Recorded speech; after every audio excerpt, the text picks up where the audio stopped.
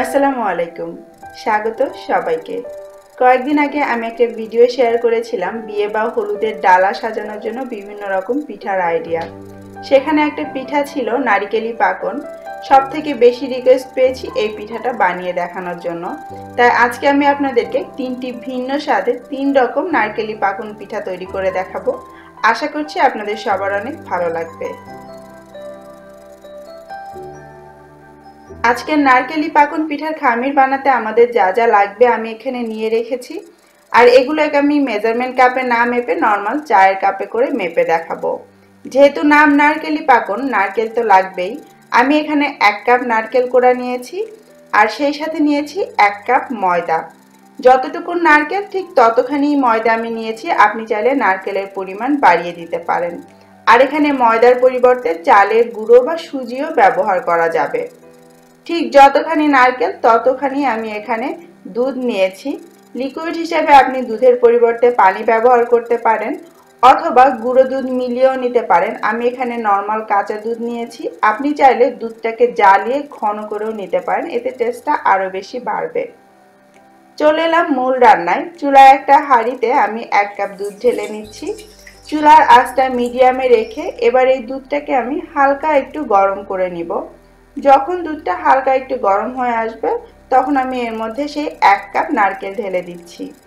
আপনি যদি নারকেলের পরিমাণ ময়দার থেকে এখানে বেশি দেন, তাহলে যেটা হবে, ভাজার সময় নারকেল থেকে তেল বের হয়ে ভেতরটা বেশি ঝাঁঝরা হয়ে যাবে আর এগুলো ভেঙে যাবে।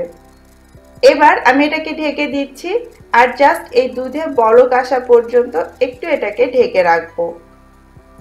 দুধে বরফ চলে এসেছে। বাইরে থেকেই দেখা যাচ্ছে, আমি ঢাকনাটা তুলে নিলাম। তারপর এটাকে একটু নেড়ে মিশিয়ে নিব। আমি বলেছিলাম যে আজকে তিন রকম দেখাবো পিঠা। এর মধ্যে একটা থাকবে শুকনো পিঠা। যারা মিষ্টি খেতে পছন্দ করেন না, তারা এই খামিরটা তৈরির সময় এর মধ্যে সামান্য চিনি দিয়ে দিতে পারেন। আমি এখানে দুই টেবিল চামচ চিনি দিচ্ছি। তাহলে আর পরে আপনাকে এটাকে শিরাতে ভেজাতে লাগবে না। অল্প মিষ্টি খান যারা বা মিষ্টি খেতে পছন্দ করেন না তারা এইভাবে খামির তৈরির সময় যদি একটুখানি চিনি দিয়ে দেন, তাহলে পরে আর এটাকে চিনি শিরায় ভেজাতে হবে না। তারপর আমি এর মধ্যে ওয়ান কাপ দিয়ে দিচ্ছি সেই ময়দা দিয়ে ভালো করে এটাকে মিশিয়ে নিচ্ছি। মেশাতে মেশাতে এই চুলাটা বন্ধ করে দিতে হবে, না হলে নিচের থেকে ধরে যাবে। যখন দেখবেন যে এটা এভাবে ভিজে খামিরের মতো হয়ে গিয়েছে, তখন এটাকে একটু ঢেকে রাখতে হবে তিন থেকে চার মিনিটের জন্য, তাহলে পুরোটা ময়দা খুব ভালোভাবে সেদ্ধ হয়ে যাবে। তিন চার মিনিট পরে ঢাকনাটা একটু তুলে নিতে হবে। আমাদের হালকা গরম থাকতেই এই খামিটা মেখে ফেলতে হবে, কিন্তু হাত যাতে পুড়ে না যায়, এজন্য আমি এখন এটাকে একটু এইভাবে নেড়ে চেড়ে এর যে আলগা ভাব আছে গরমে সেটা আমি বের করে নিচ্ছি।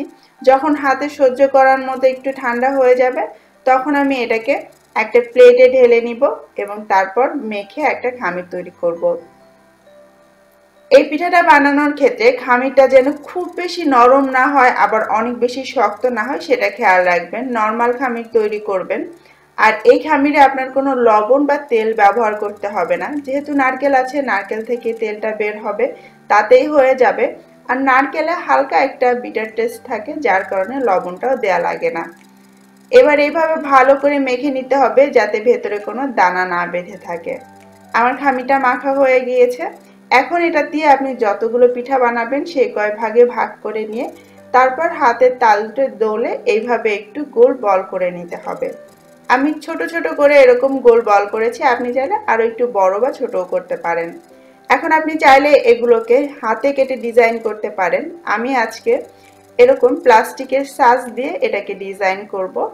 এভাবে মাঝখানে এক একটা করে বল রেখে ওপরে আর একটা সাজ দিয়ে তারপর এটাকে চেপে দিতে হবে। তাহলে চারপাশের ওই খাঁচ কাটা অংশটা পিঠার গায়ে ডিজাইন হয়ে বসে যাবে। কিন্তু আপনার কাছে যদি সাজ না থাকে, সেক্ষেত্রে আপনি জাস্ট এর উপরে কাঠি দিয়ে একটু এলোমেলো করেও ডিজাইন করে দিতে পারেন। দেখতেও ভালো লাগে আর ভাজার সময় ভেতর পর্যন্ত ভাজাটাও ভালো হয়। সবগুলো আমি একইভাবে, এইভাবে ছাঁচে ফেলে ডিজাইন করে নিচ্ছি। আমার পিঠাগুলো সব ডিজাইন করা হয়ে গিয়েছে। টোটাল পনেরোটা পিঠা আমি বানিয়েছি এখানে। এখন আমি একটা চিনি শিরা তৈরি করব দু নাম্বার পিঠার জন্য, যেটা খুবই হালকা লাইট একটা শিরাতে থাকবে এবং পাতলা শিরায় নরম পিঠা হবে। চিনি এবং পানি এর মধ্যে আমি দিয়ে দিলাম। নিচে লেখা আসছে আমি কতটুকুন কি দিয়েছি, তাছাড়া ডিসক্রিপশন বক্সেও কিন্তু আপনারা পেয়ে যাবেন ইনগ্রিডিয়েন্টসের মাপ এবং নামগুলো। চুলাটা আমি হাই হিটে রেখেছি। এবার এটাকে নেড়ে চেড়ে একটু মিশিয়ে দিচ্ছি। তারপরে হাই হিটে বলক আসার পরে আমি এটাকে তিন থেকে চার মিনিট একটু জাল করে নিব। খুব বেশি জাল করব না, তাহলে কিন্তু হবে শিরা ঘন হয়ে যাবে। আমরা এই পিঠার ক্ষেত্রে পিঠাটাকে নরম রাখব, তাই শিরাকেও আমাদেরকে পাতলা রাখতে হবে আর অনেক বেশি মিষ্টিও করব না। শিরাটা যখন হয়ে যাবে, তখন একটা বাটিতে আমি এই শিরাটা ঢেলে রাখছি। আমরা এই শিরাটা অনেক গরম ব্যবহার করব না। কুসুম গরম বা মোটামুটি ঠান্ডা একটা শিরা হলে আমাদের চলবে। এবারে আমরা পিঠাগুলো ভেজে নিব। তাই চুলায় একটা প্যান বসিয়ে আমি দেড় কাপ তেল গরম করে নিয়েছি। এই পিঠা ভাজার ক্ষেত্রে তেলটা ভালো মতো গরম হওয়া জরুরি। যেহেতু নারকেল আছে, না হলে কিন্তু এটা খুলে যেতে পারে। চুলার আঁচটা মিডিয়াম হাইতে রাখতে হবে আর তেলটা ভালো মতো গরম হলে তবেই এর মধ্যে পিঠাগুলো ছাড়তে হবে। আর চুলার আঁচটা বরাবরই মিডিয়াম হাইতে রেখে ভাজবেন তাহলে আর পিঠাগুলো খুলে যাবে না। এক সময় দেখবেন আস্তে আস্তে পিঠাগুলো ফুলতে শুরু করবে আর ওপরের দিকে ভেসে উঠবে। আপনি মাঝে মাঝে হাঁড়িটা ধরে এভাবে একটু দুলিয়ে দিবেন তাহলে তেল পিঠার উপরে উঠে আসবে এবং ওপর দিক দিয়েও ভালো মতো ফুলবে আর ভাজা হবে।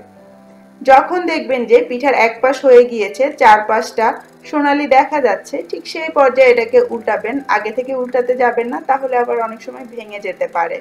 তবে আপনি যদি নারকেল আর ময়দা সমান সমান দেন, তাহলে কিন্তু পিঠা ভাঙার চান্স থাকে না।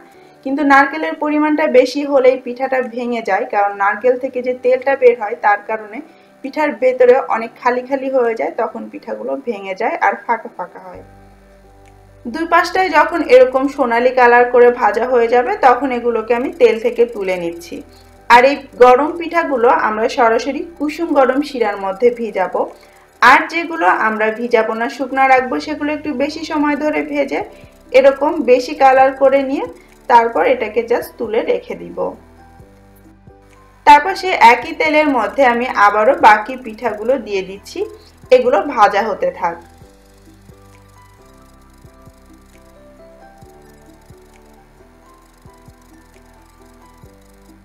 বাকি পিঠাগুলো ভাজা হতে হতে প্রথম ব্যাচের যে পিঠাগুলো আমি তুললাম, সেগুলোকে এখন আমি চিনি শিরার মধ্যে দিয়ে দিচ্ছি। পিঠাটা আমি মাত্রই তেল থেকে উঠিয়েছি আর উঠিয়ে কুসুম গরম শিরার মধ্যে দিয়ে দিচ্ছি। একটা জিনিস মাথায় রাখবেন যে শিরা আর পিঠাটা দুটোই যদি অনেক গরম হয়, তাহলে কিন্তু পিঠাটা একদম গলে যাবে। যে কোনো একটা কম গরম, একটা বেশি গরম হতে হবে, অথবা দুটোই কুসুম গরম হলেও চলবে। এই অবস্থায় আপনাকে পিঠাগুলো শিরাতে ভিজাতে হবে। আর শিরার মধ্যে এভাবে ডুবিয়ে দিবেন। এক ঘণ্টা আপনি এভাবে শিরাতে ভিজিয়ে রাখলেই দেখবেন যে এটা খুব সুন্দর ফুলে উঠেছে আর একদম তুলতুলে হয়ে গিয়েছে। এই যে দেখতে পাচ্ছেন কত সুন্দর ফুলে গিয়েছে আর শিরার পরিমাণটাও কিন্তু এখন কমে গিয়েছে। এখন আপনি চাইলে শিরা থেকে তুলে ফ্রিজে রেখে ঠান্ডা করে তারপরে এটাকে পরিবেশন করতে পারেন। এবারে চলুন আমরা সেকেন্ড শিরাটা তৈরি করে নিই। এজন্য চুলায় একটা প্যানে আমি এক কাপ চিনি দিয়ে দিচ্ছি, আর এই এক কাপ চিনির মধ্যে আমি দিচ্ছি দুটো এলাচ। একটুখানি মাথা ফাটিয়ে দিয়েছি যাতে ফ্লেভারটা আসতে পারে। সেই সাথে দিয়ে দিচ্ছি থ্রি ফোর্থ কাপ অর্থাৎ পনে এক কাপ চিনি। বুঝতেই পারছেন শিরাটা একটু ঘন হবে, তাই ঠান্ডা হওয়ার পর যাতে জমাট না বেঁধে যায়, তাই এর মধ্যে আমি একটু লেবুর রস দিয়ে দিচ্ছি। এবার চুলার আঁচটা একদম হাইতে করে দিয়ে এটাকে নেড়ে চেড়ে মিশিয়ে দিব। আর জাস্ট এটাকে একবার বরফ তুলে নিব। যেহেতু পানি কম, এটাকে যদি আমি বেশি জাল করে ফেলি, তাহলে কিন্তু এই শিরাটা অনেক বেশি ঘন হয়ে যাবে, পিঠার ভিতরে ঠিক মতো ঢুকবে না। জাস্ট যখন এরকম একবার বলক চলে আসবে, তখন চুলাটা বন্ধ করে চুলা থেকে নামিয়ে নিতে হবে। আর এই শিরাটাও আমরা কুসুম গরম ব্যবহার করব। এইবারে আমার বাকি পিঠাগুলো ভাজা হয়ে গিয়েছে। একদম তেল থেকে তুলে গরম গরম পিঠা আমি সেই কুসুম গরম শিরার মধ্যে দিয়ে দিব। এটা হচ্ছে ঘন শিরাটা। তারপর এটাকে এভাবে একটু ডুবিয়ে দিতে হবে এবং উল্টে পাল্টে দিতে হবে। আর এই শিরার মধ্যে আপনাকে পাঁচ থেকে সাত মিনিট একটু এটাকে রেখে দিতে হবে যাতে ভেতর পর্যন্ত শিরাটা ঢুকে। আর শিরাটাকে অবশ্যই কুসুম গরম থাকতে হবে, না হলে কিন্তু ঠিক মতো পিঠার মধ্যে শিরাটা ঢুকবে না। হয়ে গেলে তারপর এটাকে এই শিরা থেকে তুলে আলাদা একটা প্লেটে রেখে দিতে হবে। ব্যাস, তৈরি হয়ে গেল একই খামির দিয়ে তিনটি ভিন্ন স্বাদে নারকেলি পাকন পিঠা।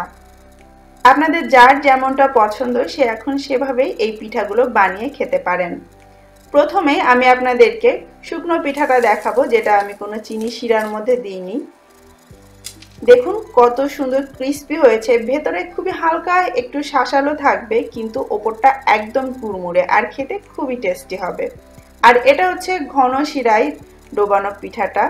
দেখতেই পাচ্ছেন, ওপর থেকে শুকনো দেখা গেল, ভেতরে কিন্তু অনেক রসালো থাকে। অনেক মজার এই পিঠাটাও খেতে। আর সবশেষে আমি আপনাদেরকে দেখাবো পাতলা শিরায় যে পিঠাটা আমি ভেজালাম। আমার কাছে সব থেকে এটাই বেশি ভালো লাগে। ভিজে যাওয়ার পর এটাতে শিরাতে না রেখে শিরা থেকে তুলে ফ্রিজে রেখে ঠান্ডা করে খেতে অসাধারণ লাগে। এখন আপনি যে যেমন মিষ্টি খেতে পছন্দ করেন আর যার যেমনটা ভালো লাগে সেইভাবে এই পিঠাটা বানিয়ে নিতে পারেন খুব সহজেই। আর বানাতে কিন্তু খুব বেশি সময়ও লাগে না আর ঝামেলা একেবারেই কম। মেজারমেন্টটা ঠিকমতো ফলো করলে আপনাদের পিঠা প্রথমবারেই পারফেক্ট হবে। আশা করছি আজকের রেসিপি ভালো লেগেছে। সবাই অনেক ভালো থাকবেন আর মজার মজার পিঠা খাবেন। আল্লাহ হাফেজ।